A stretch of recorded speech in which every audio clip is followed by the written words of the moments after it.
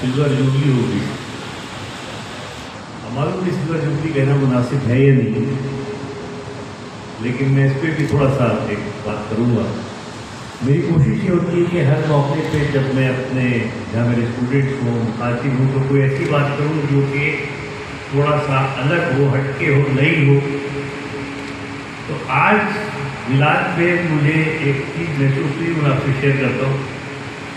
मुझे महसूस हुई कि हम लोग इजहार मोहब्बत में बहुत आगे बढ़े।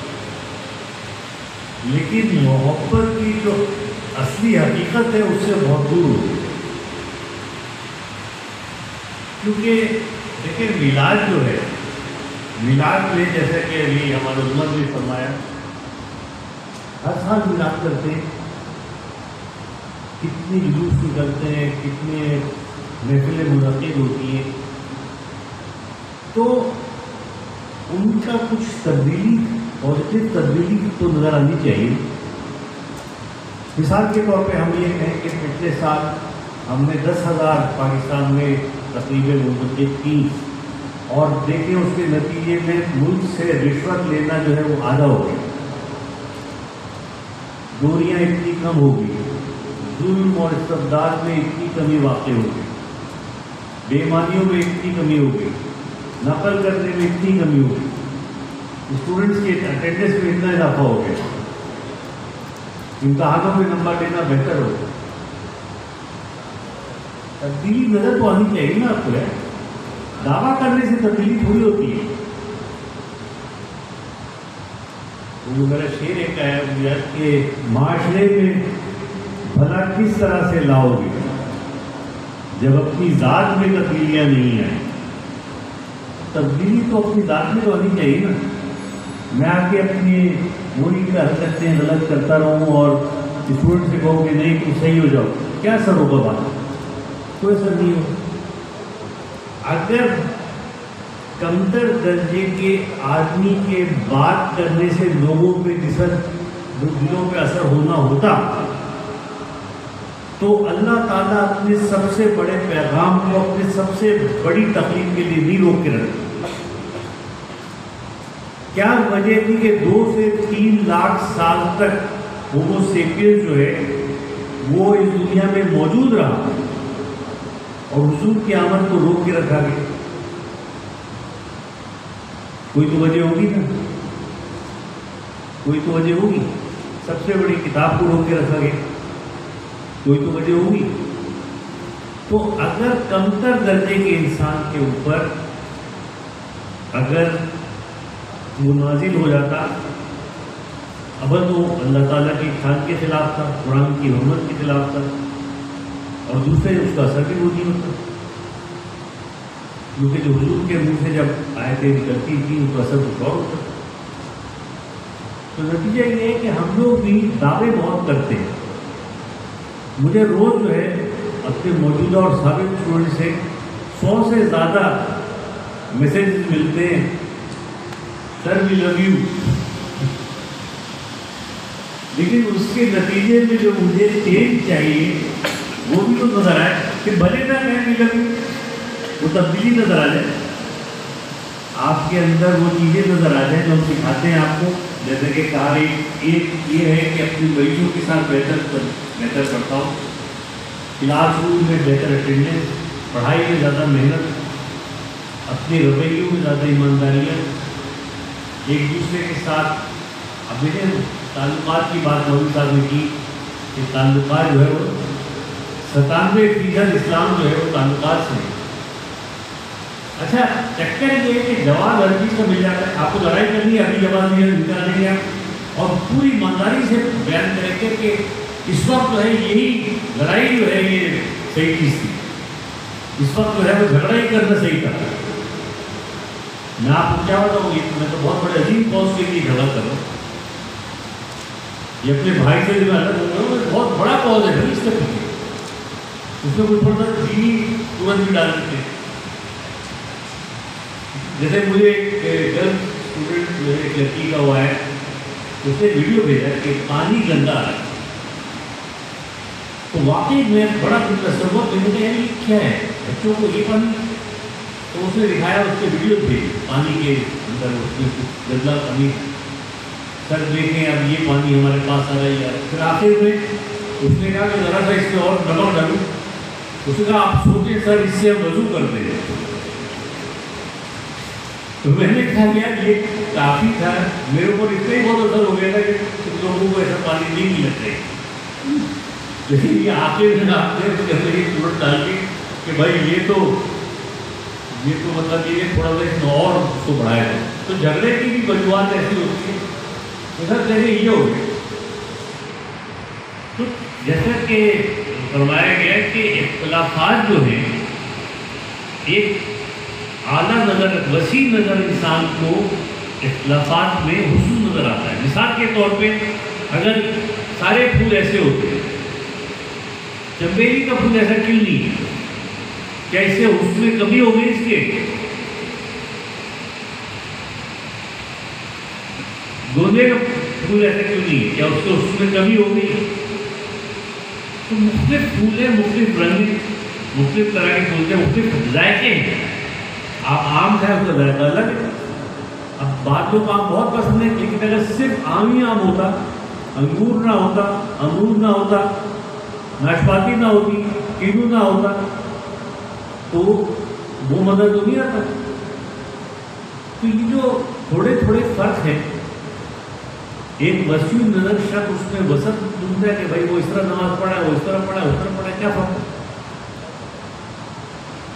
मैं ईमानदारी से कहता हूँ कि मुझे बहुत सारे हाथ बाँध कर नमाज़ पढ़ने वाले अपने मसलक और सोच के करीब तर नज़र आते हैं बनस्बत हाथ खोल के नमाज़ पढ़ने वालों कोई इसमें झूठ नहीं है।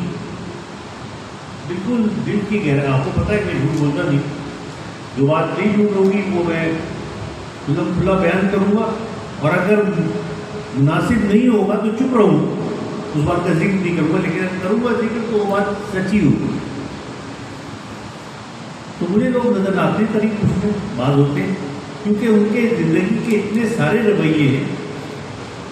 हम लोगों को कोता नजरी ने तन नजरी ने बहुत नुकसान हुआ क्या आप सोच सकते हैं कि जब सोलह सौ में सोलहवीं सदी में प्रिंटिंग प्रेस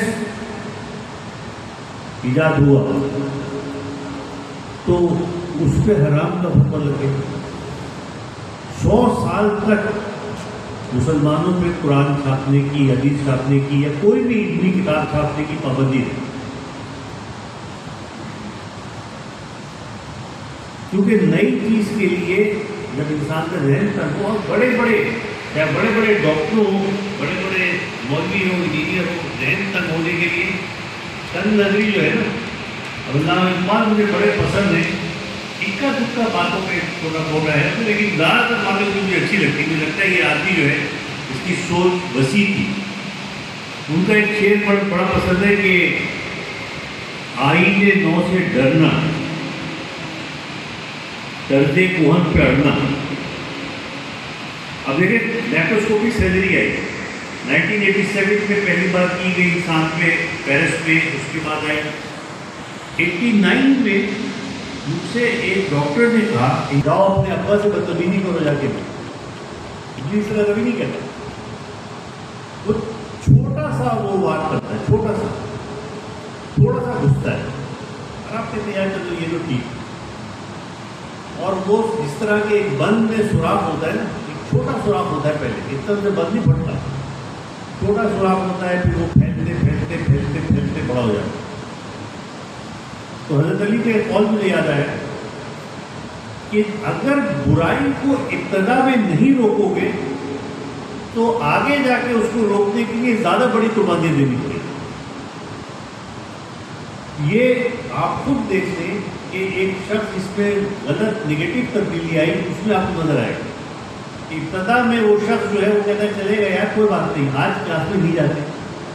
चलो, आज ये ना करते, चलो, आज ये नहीं करते, चलो, आज ये नहीं करते।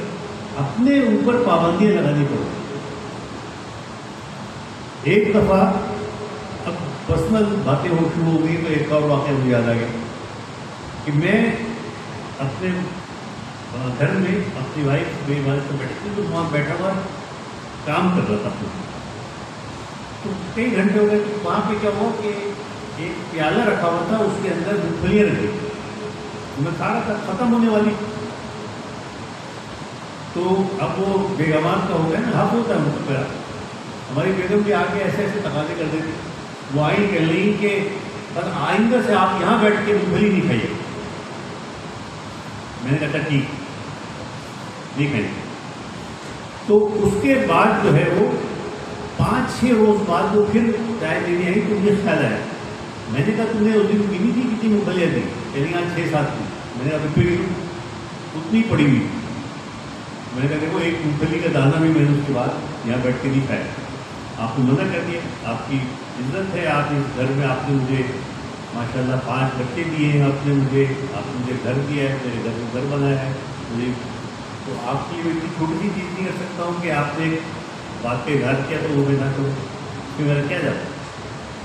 तो अगर फ़र्ज़ करे कि मैं कहता, यार, ये तो खत्म कर लूँ। तो शैतान इस तरह घुस जाता। फिर मैं जाके लहरी से निकाल के और गया फिर थोड़ी और ले आया तो रास्ता खुल गया तो खुल गया। लेकिन अगला दाना ना खाना जो है, वो जो है वो आपको रोक देगा कि फिर अब आप नहीं खाएँगे। यही इसमें होता है कि भाई, चलो अभी एनर्जी क्लास है। चलो। एक क्लास छोड़ने से क्या हो जाएगा यार? बात ये कि एक ही क्लास छोड़ने से होगा। इससे पता चल जाएगा कि आप, आपके अंदर दो नंबरी घुसी हुई। आप थोड़ा सा जो है वो वो लेते जो आदमी एक क्लास छोड़ेगा, वो सौ क्लासें भी छोड़ेगा। और जो आदमी एक जितनी क्लासें नहीं छोड़ेगा, वो एक क्लास भी नहीं छोड़ेगा। पहली क्लास भी हो जाएगी। बोलेगा ऐसे कैसे हो सकता गलत चीज़ नहीं करनी। तो नतीजा ये है कि आपको, हमारे यहाँ ये सिखाया जा रहा है, ये सिखाया जा रहा है कि यार, चलो, क्या फ़र्क पड़ता है? थोड़ा सा ही कर लेते हैं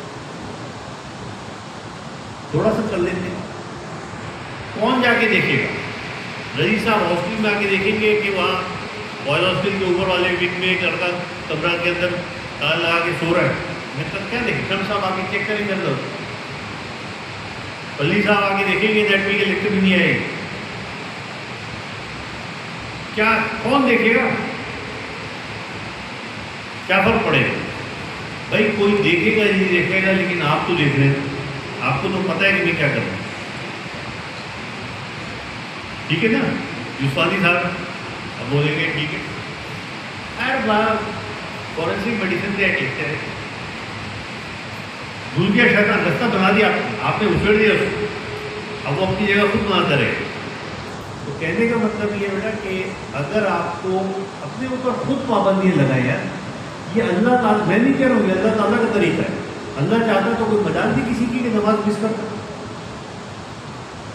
भाई आप लोग खाना खाए बगैर, पानी पिए बगैर कितनी देर रह सकते हैं? मजाल नहीं आप किसी नमाज़ का कर देता लाजमी हो जाता है कि आपको पढ़ना। मगर आपके ऊपर छोड़ दिया। कोई ज़िंदगी भर ना पड़े तो पढ़े। तो आपकी नेकी और आपकी बुराई करने की ताकत आपको बस नहीं अब आप पे और मैं मिलाद के हवाले से बात आज ज़रूर कहना चाहता हूँ कि हुजूर की रात जो है,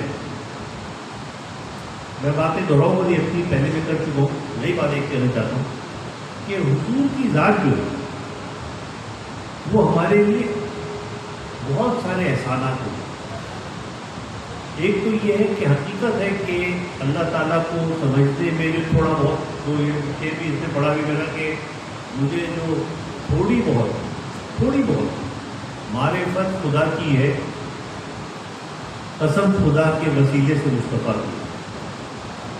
कि कुरान भी उन्हीं के हाथ से उतरा, उन्हीं के, हमें अल्लाह ने तो कुरान ला के धोई दिया। अल्लाह मैंने रसूल को दिया उन्होंने दी तो हमने उनसे कुरान हासिल किया उनसे तरबियत हासिल की उनकी उनको देखा ज़िंदगी कैसी गुजरी उनकी रिश्तों के लिए यानी आपको पता है कि आप अभी ये जो बात हो रही थी ताल्लुकात की कि रसूलुल्लाह पे बाकायदा एहसास किया जाता था यार बच्चों को बड़ी कर हम तो नहीं कराते क्योंकि वो सख्त थे दिलों में सख्त थे उनका यार बच्चों को कब कंधे को उठा रहे अब जो वाकया सुनाते हैं दिल चारा सुनाने का सुना देता हूँ, आप लोगों ने सबने सुना हुआ है कि ईद का रोज था उन्होंने कहा, भाई, दूसरे बच्चे जो है तो उनको भी डालो तो उन्होंने कहा, मैं तुम्हारा हूँ, तुम मेरे कंधे पर कंधे पे उठा उन्होंने कहा, दूसरों के ऊँट तो चल रहे हैं, आप हमारा ऊँट खड़ा हुआ है। चलना शुरू उन्होंने कहा, दूसरे के ऊँट आवाज़ निकाल रहे हमारा ऊँट आवाज़ भी नहीं निकाल रहा तो ऊँट वाली आवाज़ निकालनी शुरू कर दी। तो एक साथी आए, उन्होंने कहा कि, बच्चों, तुम्हारा ऊँट कितना अच्छा है। तो उन साहबी से फरमाया, ये भी तो देखो कि सवार कितने अच्छे तो ये क्या है? अच्छा अल्लाह ने तारीफ़ में महसूस कर दी ये क्या है? ये तो हमको सिखा रहे हैं कि आप अपने बच्चों से, अपने छोटों से क्या सलूक करें। आपको शर्म आती है? आप प्रोफेसर ऑफ़ बायोकेमिस्ट्री है आप बोल रहे हैं जी, मैं तो यार, मैं कैसे, क्या इज़्ज़त रह जाएगी? तो रसूल करके दिखा रहे हैं जिनके पाँव की खाद भी नहीं तो आपकी क्या हैसियत है? मेरी क्या हैसियत है? हैसियत भी बड़ा लफ्ज है। जर्रे के बराबर की नहीं मिलता जब वो कर रहे हैं तो फिर हम किस किस मुँह से कहेंगे? ये भी हमारे बच्चे बैठे हम इनको नहीं गिफ्ट करें। हम इनके ऊपर सख्तियाँ करें हम इनके ऊपर रहम को उसको अलग कर दें। और फिर हम कहेंगे, जी, ये तो ये। तो भाई, हम कितने बड़े रसुल्ला के मगार में खास भी नहीं जब उन्होंने बच्चों को, छोटों को अपने से मतलब कम उम्र लोग को एक सबक दिया लेकिन आला लेकिन सबक तो होता है ना, वो एक हज़ार बार नहीं किया जाता अलग अलग तरीके से। आपको अकल इसलिए दी गई है कि, जिसे मैंने कहा ना कि ये मत देखो मतलब ये देखे कि इसके बियॉन्ड क्या है। रसूल ने दिखा दिया अपने नवाजों के साथ। अब आप इसको फैलाएँ। और देखें कि रहम जो है वो इस पे आपके हाथ में कौन कौन है। जितने छोटे आपके हाथ में, उन तक फैलाएँ, जहाँ तक फैला सके आप। तो ये चीज़ें जो है, ये सीखने की चीज़ें हैं।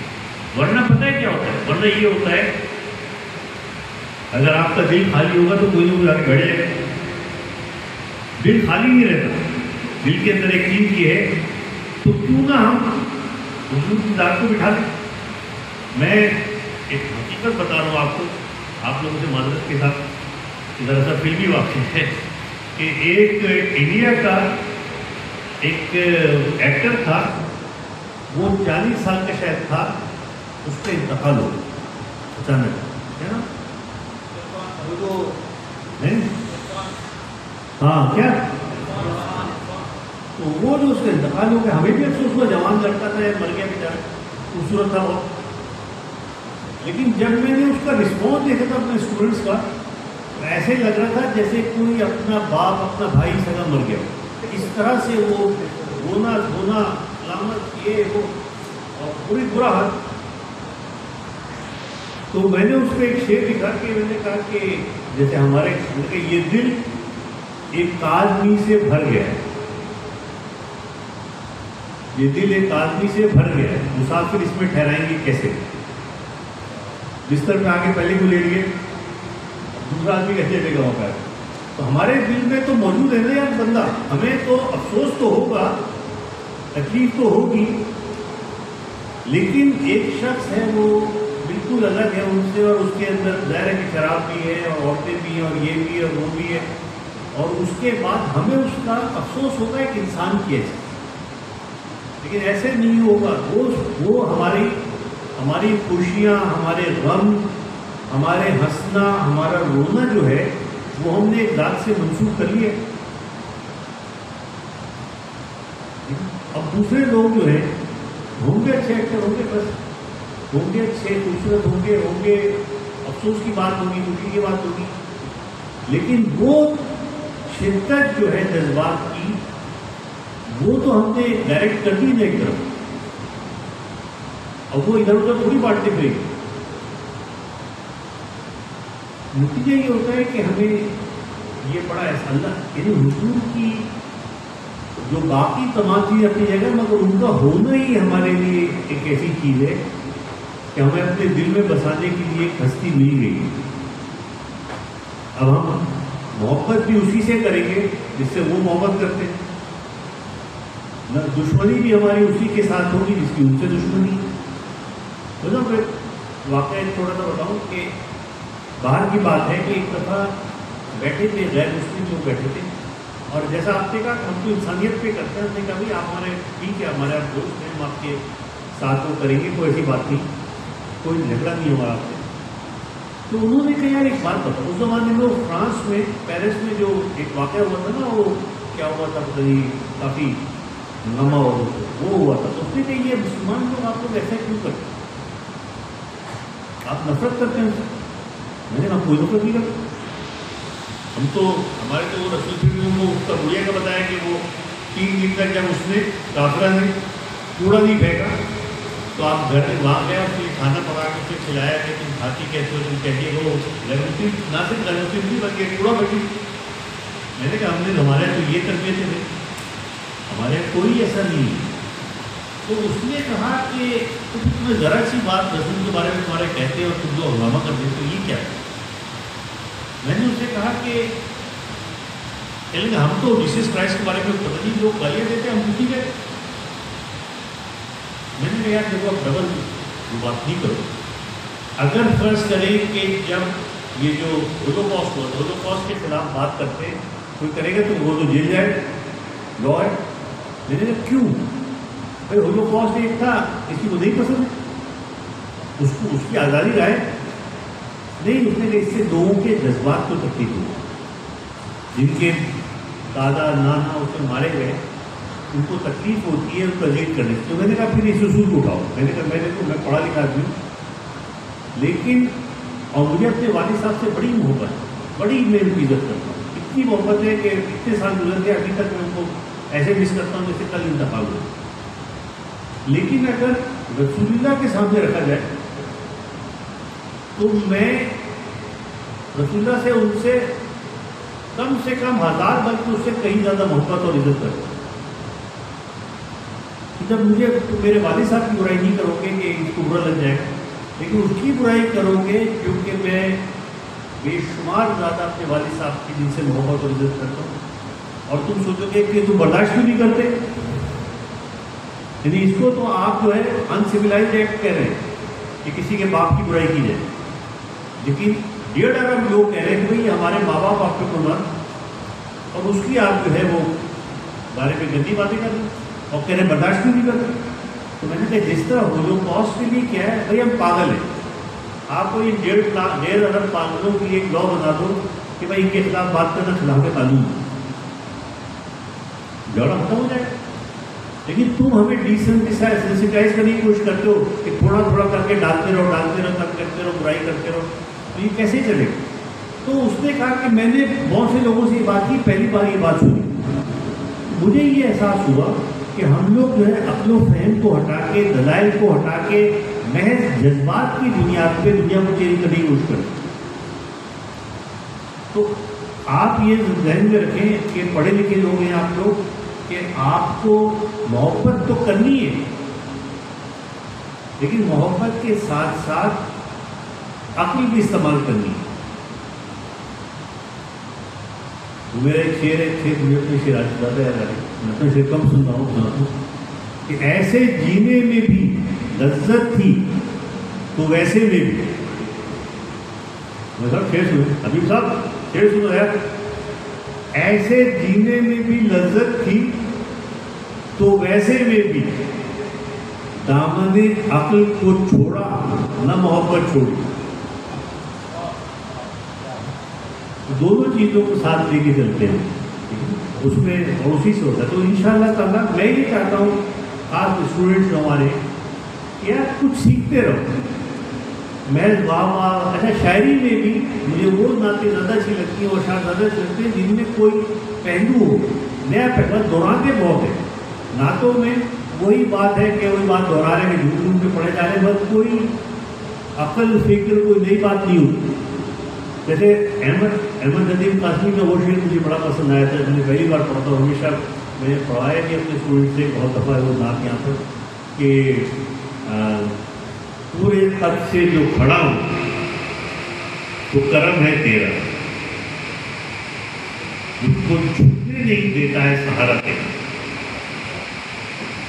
तो वाकई ये बात ऐसी नई बात को इनकार करना है जो पहले ना कही गई हो और हो तो वो खेत में लगती और आप लोग इतने वैसी नाते चुने यार तो हर साल एक ही नात, और हर साल वही। लेकिन ये कि कभी है क्या? उन्होंने लास्ट करें, इंशाल्लाह लाए, इंशाल्लाह अल्लाह ताला इस महफिल करें। और आप लोगों को अपील है कि अगले साल जो सूरज डूबी होगी, इंशाल्लाह, लेकिन वो भी उसको अच्छी तरह मनाया जाए। आखिरी बात में कर दूँ सूरज डूबी की बात हुई वो ये है कि देखिए हर अभी जैसे एक ने बड़ा पढ़ा कि काट में दौरे मोहम्मद में।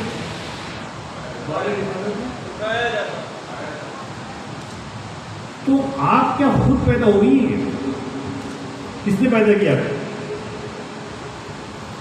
तो अल्लाह ताला ने तो सोचिए क्या हुआ?